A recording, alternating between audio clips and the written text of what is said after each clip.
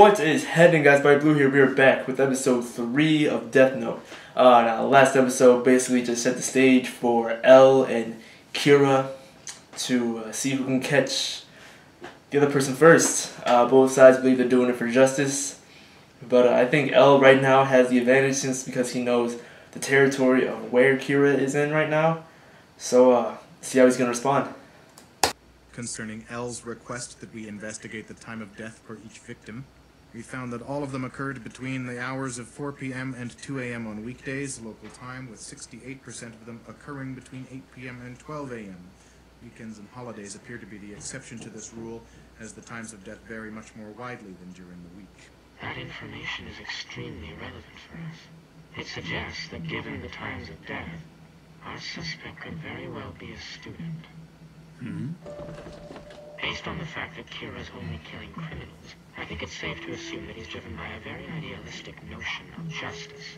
It's highly possible he may even aspire to be some sort of godlike figure.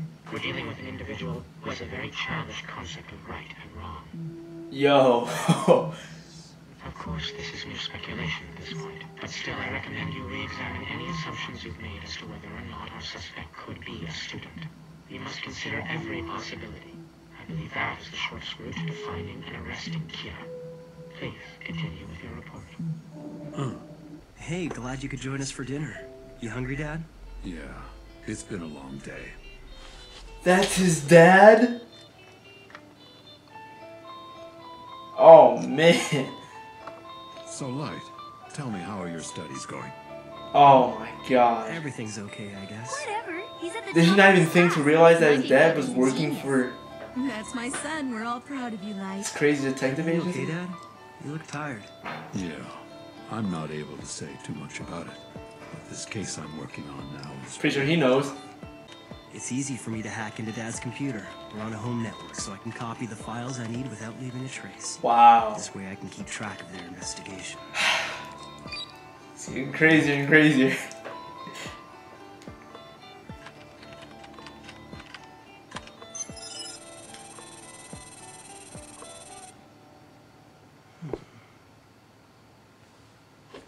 Well, isn't that interesting?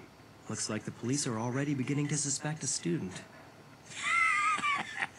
I guess that means you're in trouble.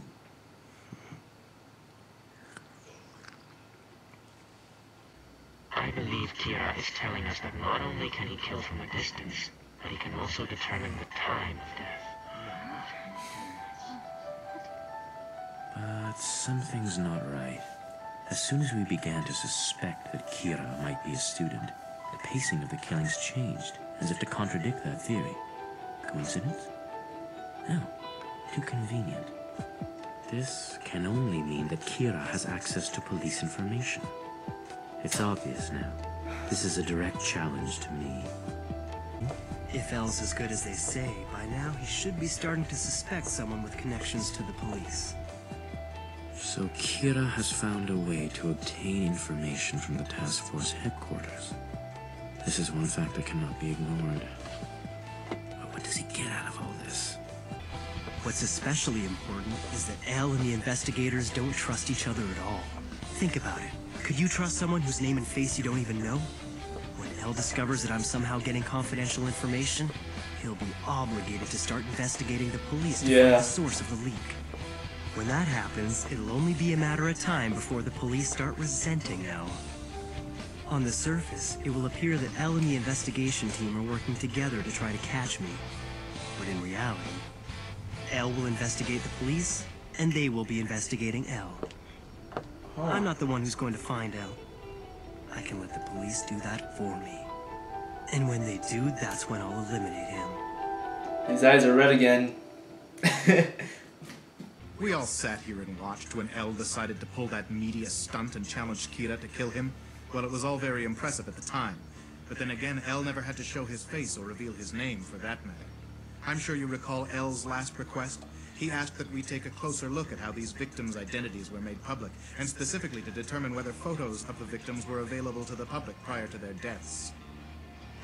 But it turns out he was right. Every single one of those victims' names and photos were broadcast to the Japanese public, and then they died. Unlike someone we know, we're out there investigating this case wearing police IDs with our names and photos on them. Anybody with a computer can find out who we are. We don't hide our faces, we're out in the open. Sir, the truth is we could be killed by Kira at any time. For these reasons, we refuse to continue working this case. Excuse us, Chief. Hey! Ah, I don't stop. blame him. All of you! Hold it right there! You're being followed by another human. He's watching you right now.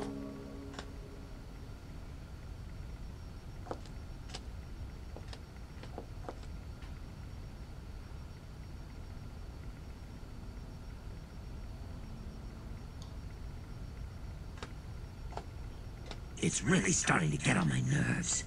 I realize there's no way he can see me.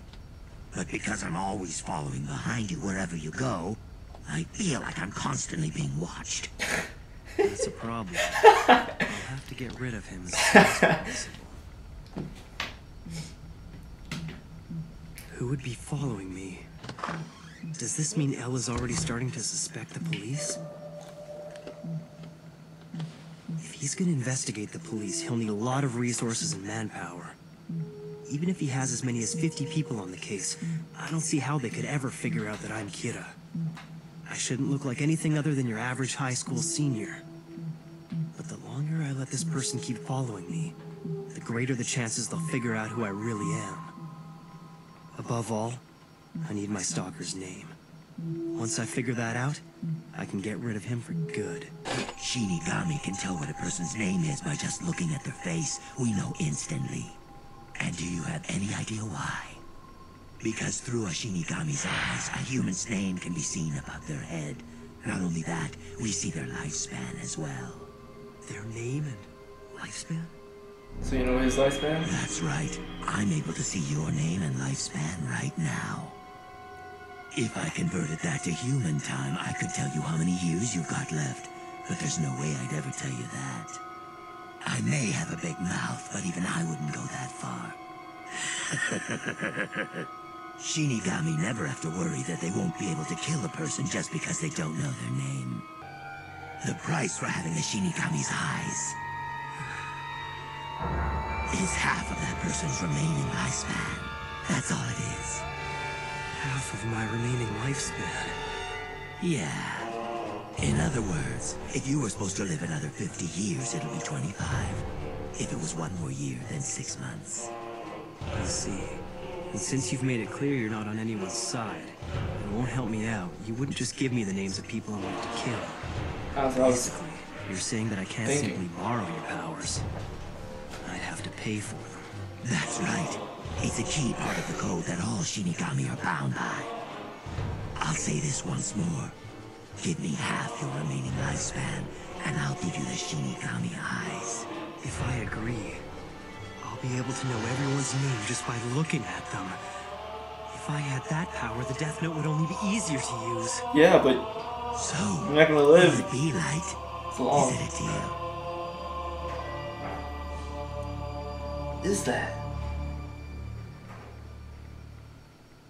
I don't know who that is.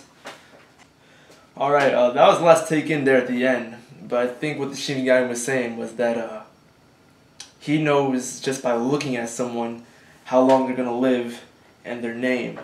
And what I was thinking at that point in time was like, oh, okay, so he could easily just go outside and look at that human and then tell uh, Kira uh, who the guy is. But he's not gonna do that because he wants half of his life.